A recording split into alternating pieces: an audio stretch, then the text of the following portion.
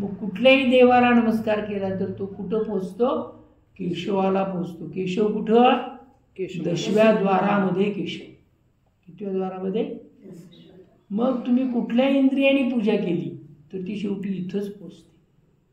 केशवाला पोचते केशवाला काय पोचला पाहिजे? तर केशवाला काय पोचला पाहिजे? काय पोचतो? तर सत्राणे उड्डाण ओंकार बदनी. कडी डळमळ मंडळ सिंधू जळ सत्राणे सर्व त्राणासहित ताकदीनं उड्डाण करायचं. ते तिथं पोचतं. मग सगळ्या इंद्रियातल्या ताकदीने करायचं. उड्डाण करायचं. मग उड्डाण कोण करू शकतो? वायुपुत्र हनुमान. बाकी उड्डाण कोण करू शकत नाही. अग्नी काही उड्डाण करत नाही.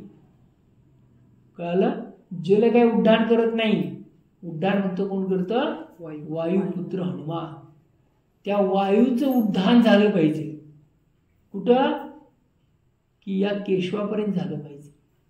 मग जोरात उड्डाण कोण करेल? त्याचा जोरात प्राण तिथं जाईल. केशवाला पोहोचेल. हळूहळू करते तर हळूहळू जाईल थोडा जाईल. मग सगळ्या इंद्रियामध्ये आपण उड्डाण केलं तर शेवटी ते कुठं पोचतं? केशवाकडं पोचतं. ही त्यातली क्रिया.